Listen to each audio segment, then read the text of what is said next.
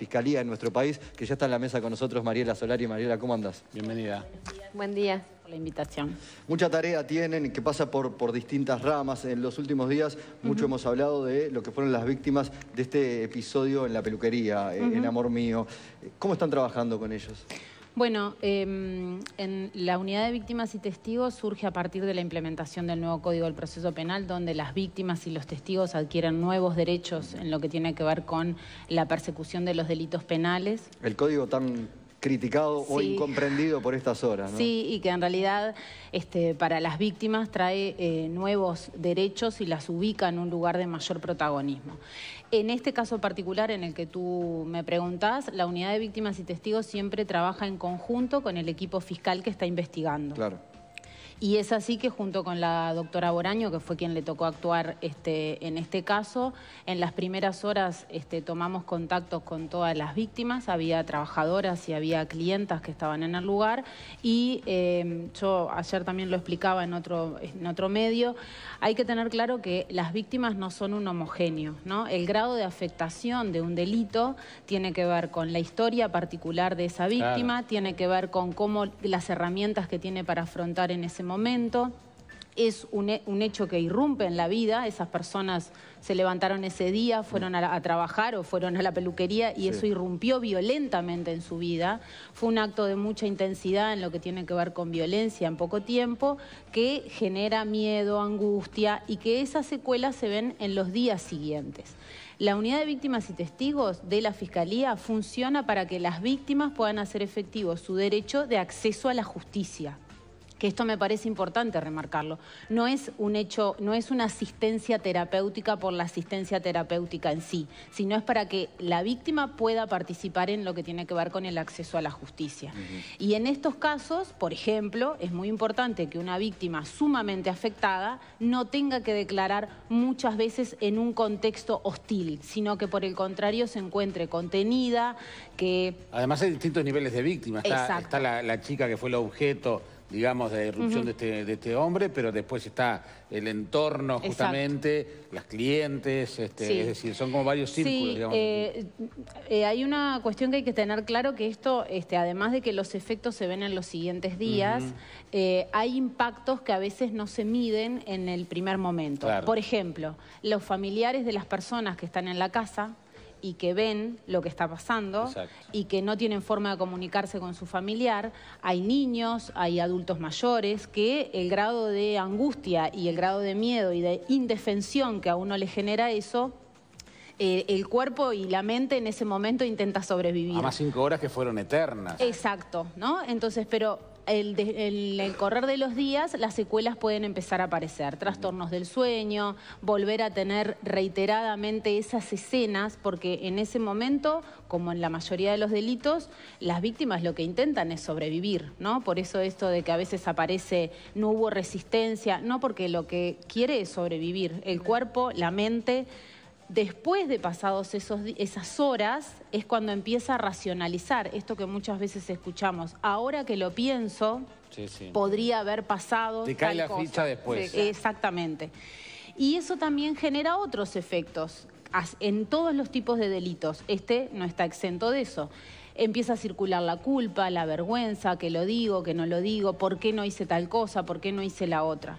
Por eso es tan importante poder contener y apoyar a las víctimas para que eso, que no se va a borrar, en ningún tipo de delito, en una rapiña, en un copamiento o como pasó en este caso, eso no se va a borrar de la vida de la persona, pero hay que poderlo transformar en algo que a uno le permita seguir la vida naturalmente el tiempo natural que puede ser previsto para, para que la persona logre digerir esta situación que le tocó vivir, incorporarla y, hacer un proceso de resiliencia con eso y bueno. Sí, ahí yo vuelvo a repetir que depende del proceso de cada uno, ¿no? Porque em, vos podés vivir una escena como, como la que se vivió en, este local o otra escena que te retrotrae a otras cosas de tu vida y que en esa persona le va a costar más porque ya no es solo eso, sino que tiene que ver con otras cosas Pero hay un cierto parámetro como en el duelo patológico, por ejemplo, que más o menos Tiene que ver con meses, en, ponele este, las primeras horas, las primeras semanas y hasta seis meses,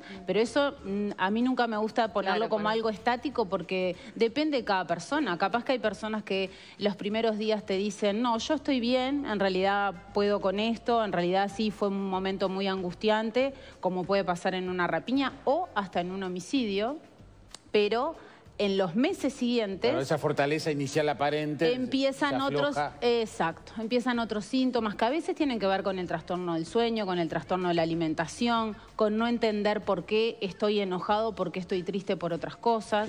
Este, a mí lo, lo que me parece que también es importante tener claro es... ¿Por qué es importante esto para la Fiscalía? Porque para que las víctimas puedan acceder a los derechos que trae el nuevo código, que dice que la víctima puede participar, que puede presentar prueba, que tiene derecho a un trato digno y respetuoso, que puede oponerse a la decisión del fiscal de archivar un caso y pedir que lo revise otro fiscal. Y saber en qué va el proceso, que antes era casi eh, ciego para la víctima con el código no, Incluso que la defensa, y es parte de lo que quiero conversar después, eh, llegue a un acuerdo con, mm. quien cometió el delito, ¿no? Que es algo de lo que está costando comprender por estas horas. Sí, y que las víctimas muchas veces incluso a veces en delitos más complejos, dicen eh, yo quiero que esto termine y si él lo reconoció y, esto se da de esta forma, yo quedo conforme con esto. Así como hay víctimas no necesito que vaya a prisión, digamos. Sí, por ejemplo. Eh, sí, por ejemplo. Con tal de que termine. Con tal de que esto y que él lo confesó y eso terminó, yo no voy a tener que venir de vuelta otra vez ni voy a tener que seguir en este proceso. ¿no? O prefiero un resarcimiento económico a la prisión de, la otra persona. ¿Cuánta gente dirá, prefiero que me paguen a que lo metan preso? Sí, y eso solo lo sabe la persona eh, en eso me parece que es importante poder respetar los intereses de la persona afectada. La víctima. Sí. No nos pongamos el, resto de la sociedad en víctimas porque no estamos en su lugar. Y porque, eh, vuelvo a repetir, que es muy difícil pensar si a mí me pasara, porque si a mí me pasara, yo cargo con una mochila de mi historia, de mi vida y tengo mis fragilidades y mis fortalezas, que no es lo mismo que lo que le pasó a la persona. ¿no? Entonces, eh, ponerse en los zapatos de la otra persona implica ponerse con toda la mochila que a veces desconocemos, ¿no? Porque a veces en las redes sociales conocemos un hecho puntual, que es el que está investigando la justicia y por el que tiene que juzgar, pero además el grado de afectación que ese hecho generó en la persona implica un montón de otras cosas que no las conocemos. Mariela, la unidad tuvo contacto con, la, con las familias del agresor y de la, de la principal víctima, de la muchacha de la peluquería, que a, su vez viven cerca y además esto también eh, se contaminó mucho, por lo menos mm. hubo mucha información sobre videos de extorsión de una mm. familia a la otra. Nosotros, eh, la unidad de víctimas tiene competencia con las víctimas, esto lo, hemos este, discutido muchas veces, tiene competencia con las víctimas y testigos en un hecho que se esté investigando. Una persona puede ser víctima en un hecho que se está investigando y en otro hecho puede pasar a estar como indagada. En este caso puntual nosotros trabajamos con la víctima y los testigos y los familiares de la víctima.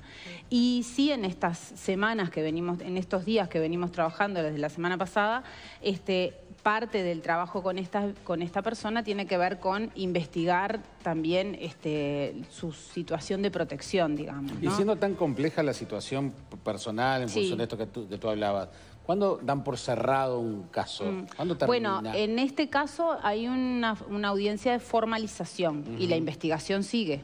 Por lo tanto, la unidad de víctimas y testigos eh, trabaja con las víctimas y los testigos hasta que hay una sentencia final. Este, si hay que preparar a las víctimas o testigos, no estoy diciendo que sea este caso porque la fiscal va a seguir investigando.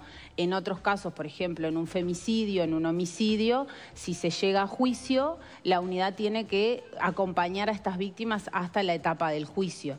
Y en eso, este, por eso también es importante que los derechos que atribuye el código permitieron que se creara un gabinete coordinador de políticas de atención y protección a víctimas que está integrado por todos los organismos, porque en este acompañamiento, por ejemplo, para el juicio pueden pasar tres o cuatro meses o un periodo mayor y necesitamos a veces coordinar con otros servicios. Por ejemplo, atendida una víctima en las primeras etapas de crisis, si necesita un este, abordaje psicológico más profundo o psiquiátrico o alguna otra afectación que ha tenido, hay que coordinar con su prestador de salud. ¿no?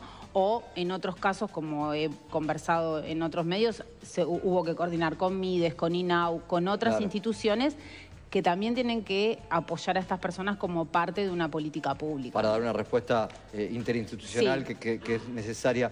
Eh, por lo que venís describiendo en cuanto al, rol que cumple la unidad, y a la situación en la que quedan las víctimas y a lo que incluye también el nuevo proceso en cuanto a los juicios orales, ¿no? Tener que declarar públicamente. Ahí el rol de la unidad, particularmente en los casos de, violencia sexual, de abuso sexual, parece volverse muy importante. Eh, tenemos cuatro denuncias ya en lo que va del año, una en Balizas, una en Colonia, otra en La Paloma, la otra eh, también en, acá en Quibón, en Montevideo. Eh, ¿Cómo se está trabajando en esos casos? ¿Cómo los toma la unidad? Bueno, em, en los temas que tienen que ver con violencia de género y violencia sexual, eh, para la Fiscalía ha sido eh, poner sobre la mesa un tema que tiene que ver con la seguridad pública. De hecho, se pasaron de tres fiscalías especializadas, va de dos a tres que están funcionando y hay dos más que se van a nombrar. La unidad de víctimas tiene un rol crucial en eso, este, sobre todo con las fiscalías de delitos sexuales y homicidios son con las que más trabajamos. Y en delitos sexuales hay instrumentos que prevé el nuevo Código del Proceso Penal, incluida la creación de la unidad, que permiten a estas víctimas que claramente tienen un grado de afectación mayor, porque además de todo queda expuesta su intimidad, eh, eh, ha sido fundamental para que se, primero, para que logren acceder a la justicia, para que logren tener una declaración cuando la tienen que tener en una forma cuidada y no revictimizante, que creo que los que hace muchos años trabajamos en estos temas era lo que más nos preocupaba, que una víctima esté, esté desde en un lugar físico acogedor, que fue lo que nos preocupamos de que en la sede de Cerrito y Misiones y en las demás sedes queremos ir hacia, hacia, ese lugar, las víctimas tengan un lugar que no sea un frío escritorio. Parece una cosa eh, sencilla, pero es muy importante que tú puedas estar en un lugar... que la víctima se sentía como delincuente cuando iba a declarar. Sí. Así o que se cruzaba con, O se cruzaba Y muchas veces hasta el, día de hoy nos pasa de que nos digan ¿y por qué tengo que ir a la fiscalía con temor?